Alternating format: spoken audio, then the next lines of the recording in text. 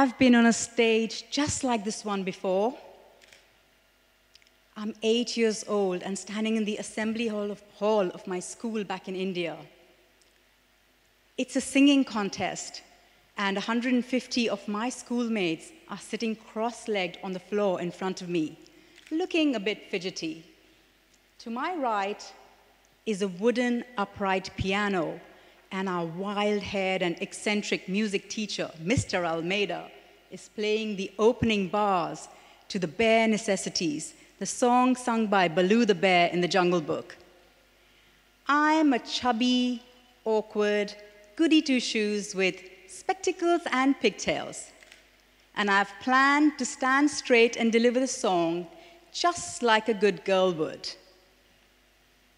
But when the music starts, something strange happens. I get transported back to my bedroom where I've practiced the song dozens of times.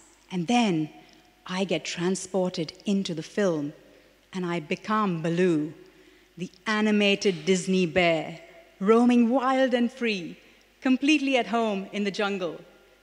The bees are buzzing in the trees to make some honey just for me. My body begins to move and sway, and then my hips start to wiggle without my permission. The audience has disappeared for me. I'm lost in the jungle with Baloo, singing and dancing my heart out until a noise brings me back into the room. I look up to see that the audience has erupted. They're all on their feet, and the teachers are telling them to sit down. I have no idea what to make of this, but Mr. Almeida seems to be enjoying it. So I just carry on, and I think I must be nailing this. And that is when I notice some of them holding their stomachs, laughing and pointing at me, which makes me wonder are they laughing at me? Confused and distracted, I miss my cue to come in for the final chorus. This is not part of the plan. I turn towards Mr. Almeida with a plea for help but the music comes to a stop and he waves me off the stage. There's a horrible silence in the room now, and as I turn to walk off, I wish that I could just disappear.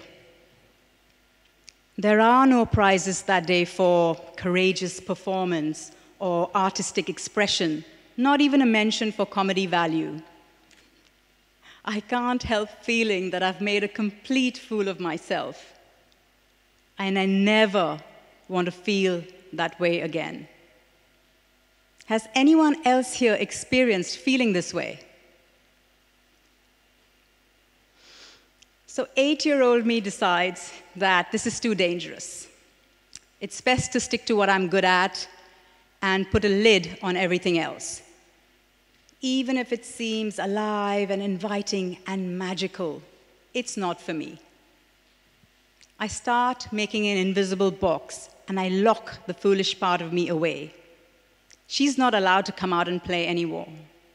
And stay away from Baloo, he's trouble. I'm making sensible choices from now, slowly editing all the adventure out of my life, one safe choice at a time.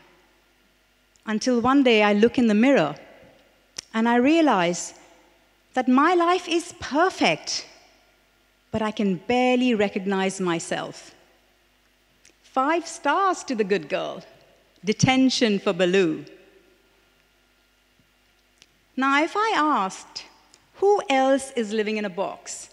I'm not sure that all of you would be eagerly rushing to put your hands up, especially in public. But I wonder if you can recognize yourself in some of these scenarios. You're pretty darn good at what you do, but even though you're fed up with work, you just never still quite get started with that business idea. Years later, you're still fantasizing about being discovered by chance.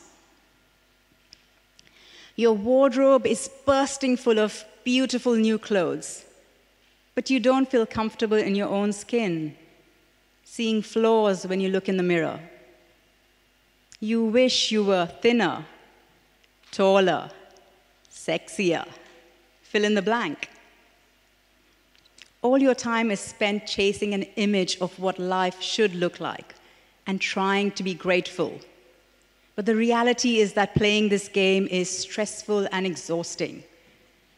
You shove down the frustration saying things like, um, oh, never mind, and it's okay. Even though honestly you do mind, and really it's not okay.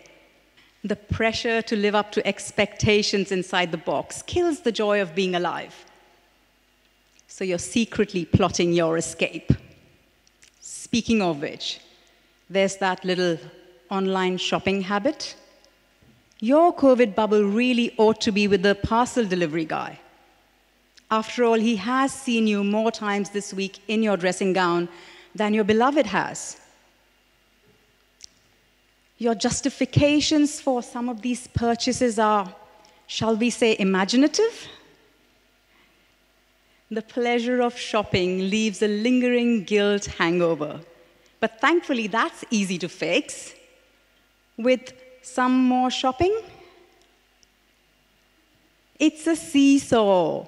We're trying to balance between tight control and overindulgence between tight control and overindulgence. Never quite getting there. When my 13 year old heard about this, he said, Ah, so does that mean you're actually admitting that adults are hypocrites? God bless kids. They can just about get away with saying it like it is. You are not to blame for this, by the way. So please relax and breathe. The default mode of a dysfunctional culture is set to have us at odds with our inner sense of wholeness. No, the blame for this is not yours, but the opportunity is. The thing is that most of us are wasting life, wanting things to be different while refusing to actually do things differently. Why not try something new? Why not take a risk? And dare I say it, make some mistakes, fail, get things wrong, look like a fool in service to what you love. So, what is the truth about mistakes? Isn't it true that mistakes are part of the learning process? And when we're okay with them, then we're free to venture into unknown territory. And when we keep going, something new, possibly of immense value, is born out of these attempts and so called mistakes. A child couldn't even learn to walk without making hundreds of them. Aren't mistakes essential and even vital for growth? Mistakes have intelligence. So, in fact, the reverse is true.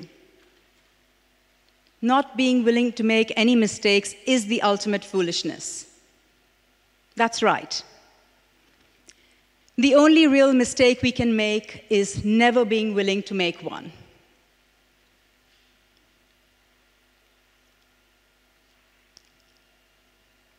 The real danger here is that we can live our lives inside a box called afraid to look like a fool, settling for the illusion of safety and abandoning the pursuit of what we love, dying without having really lived at all. Legend has it that potato crisps happened when a customer kept sending his plate of potatoes back to the kitchen, asking for them to be thinner and more fried. The chef lost his temper, sliced them insanely thin, and fried them until they were hard as a rock. To his surprise, the customer loved them and asked for more. Fireworks happened when a cook accidentally mixed together charcoal, sulfur, and saltpeter, common kitchen items some 2,000 years ago. When the mixture was compressed inside a bamboo tube, it exploded. Penicillin, the pacemaker, post it notes, x rays, slinkies, and the microwave oven all started life as mistakes. So, in summary, mistakes equals growth. This equation encourages curiosity, exploration, and discovery, leading to the fulfillment of creative potential. In other words, mistakes don't take away from our brilliance, mistakes encourage it. Mistakes equals failure smothers our creative spark, leaving a void that we try to fill with endless consumption. Separated from our true desires, we lose our way and have to depend on the external world for direction. And that's how we land in real trouble. Speaking of trouble, here comes Baloo, straight from detention. He's been doing some thinking about this, and he's got some things to say. Look for the bare necessities, the simple bare necessities. Forget about your worries and your strife. I mean the bare necessities of Mother Nature's recipes that bring the bare necessities of life. It's been a real treat talking to you today. You've been brilliant. Thank you so much, and God bless.